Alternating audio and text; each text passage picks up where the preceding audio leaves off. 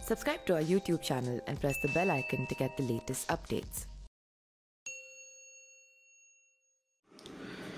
नमस्कार, मैं पिंटू सिंह यादव, आप सभी का स्वागत करते हैं न्यूज़ लाइव में। दोस्तों, जिस तरीके से उत्तर प्रदेश में योगी आदित्यनाथ की सरकार बनी है, उसके बाद माना ये जा रहा है कि वहाँ की जो कानून व्यवस्था है, वो काफ़ी ज़्यादा मज़बूत हुई है और कानून व्यवस्था को लेकर लोगों के अंदर जो डर था, वो कहीं ना कहीं अब खत्म होते नज़र आ रहा है और लोग बेबाक तरीके से जो है, उत्तर प्रदेश में लॉ एंड ऑर्डर को बेहतर बताते नज़र आ रहे हैं। लेकिन इस कड़ी में मुख्तार अंसारी जो है, वो कहीं ना कहीं इसके बावजूद भी डरे सहमे नज़र आते हैं। जिस तरीके से जो विकास दुबे का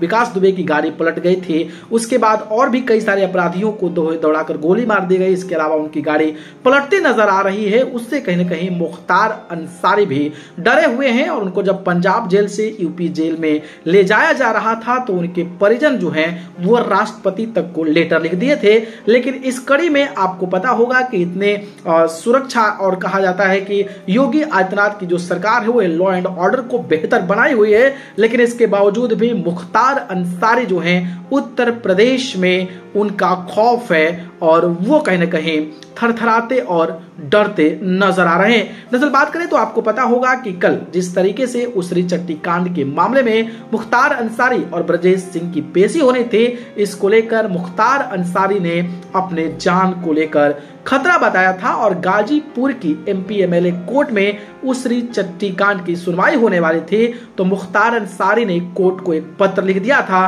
और उस पत्र में पंद्रह जवानों की टुकड़ी और बुलेट प्रूफ एंबुलेंस करने की मुहैया जो है, उन्होंने अनुरोध किया था और कोर्ट ने व्यक्तिगत रूप से तीन जनवरी को न्यायिक प्रक्रिया में शामिल होने का मुख्तार अंसारी को निर्देश दिया था। तो आप अंदाज़ा लगा सकते हैं कि अगर कोर्ट किसी ऐसे बाहुबली नेताओं को बुलाता है तो ऑब्वियसली उनको कड़ी सुरक्षा देता है और इस कदर सुरक्षा देता है कि वहाँ परिंदा भी पर मार सके और इससे पहले भी मऊ कोर्ट में मुख्तार अंसारी की पेशी हुई है तो वही एमएलए जो